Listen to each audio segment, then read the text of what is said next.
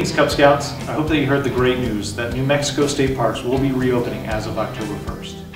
One thing that we would like to do for all of our Cub Scouting families is offer you the opportunity to come out to Dowling Aquatic Base the second weekend of October for a free camping experience.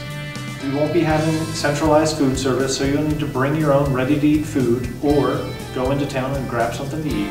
What we will be doing is having a campfire uh, to have a little bit of fun and share the scouting spirit. So we hope that you're able to join us the second weekend of October at Dowling Aquatic Base, right in Carlsbad, New Mexico. Thanks, and we'll see you there.